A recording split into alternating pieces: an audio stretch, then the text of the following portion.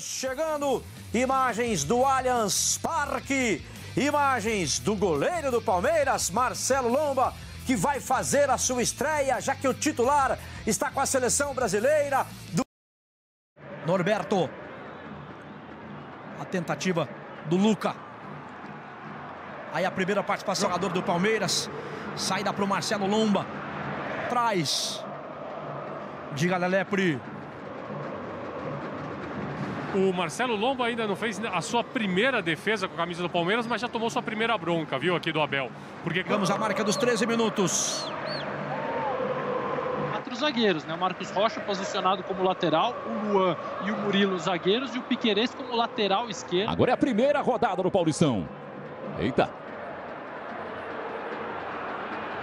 Segundo o árbitro na. Pra, pra matar a jogada, né, Marcílio?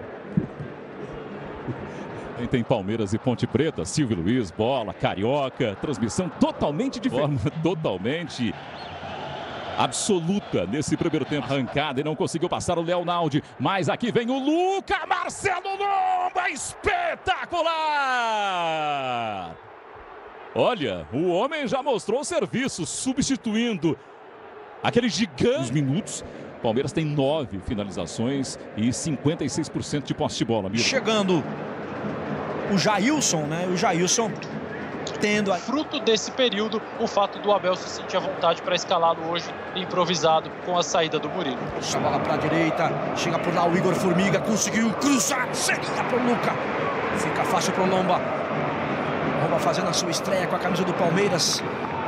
Já faz o Scarpa trabalhar. Scarpa faz Wesley para a direita, um bolão, vai pintar cruzamento. Chegada do Igor, do Igor Formiga, que é um lateral direito, né, Losetti? Se virando ali para marcar o ataque esquerdo do Palmeiras. Veron. Roberto. 35 minutos.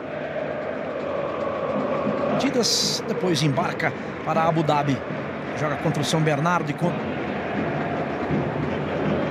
Jailson.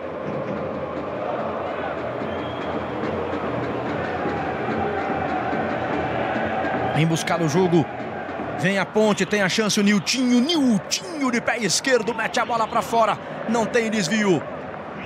Os movimentos que esse time está acostumado a fazer, alguns comportamentos.